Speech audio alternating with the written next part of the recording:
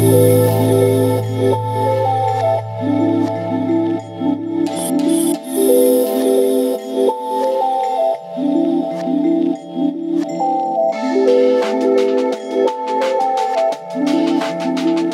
my whole idea about this show is to have a show that was filled with the light of twilight.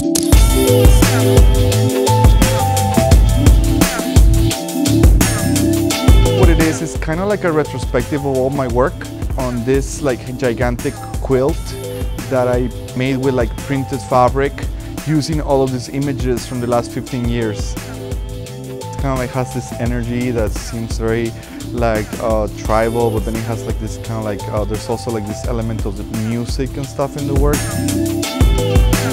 Basically everything here is really trying to say there's a, there's a pulse to this life, there's a body to this life, and we're all in the same place with our bodies trying to ask this question.